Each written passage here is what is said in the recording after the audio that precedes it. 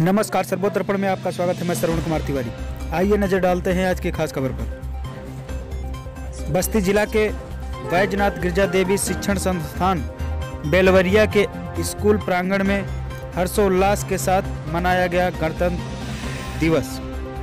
इस दौरान प्रधानाचार्य जोखूराम के साथ उप प्रधानाचार्य श्री वीरेंद्र कुमार श्रीवास्तव, सहायक अध्यापक चंद्रभान पाल, प्रवीण कुमार, योगराज यादव, बाल मुकुंद दुबे, राम लगन, प्रेम प्रकाश गौतम, संतोष कुमार राजभर, अशोक सिंह, रीमा, अर्चना त्रिपाठी, प्रधान, सुभाष तिवारी, भूतपूर्व प्रधान बसंत लाल तिवारी, नरसिंह तिवारी आसिक अली, राज बहादुर वर्मा आदि मौजूद रहे।